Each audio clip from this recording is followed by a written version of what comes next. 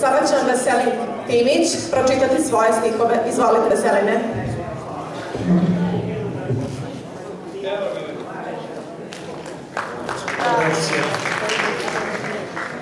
Pesma Zoro rana. Zaspala je na ramenu mome, zoro rana, rano je ne budi, jer meni je baš ovako lepo, kad mi usne naspane na grudi. Zoro rana ne budi rano, da što duže ostane kraj mene, da milujem to predivno lice, dok se usne sve usne njene. Ja je gledam, lepoti se divim, nigde nema tako lepe žene i meni je pored nje baš lepo, kada noći gori kraj mene. Zoro rana, zoro rana, mesto tebe budi čuje, nek je mesto tvoje rose, moja ruka pomiluje. Ja čitati pesmu o našoj lepoj skadaviji, skadavlije.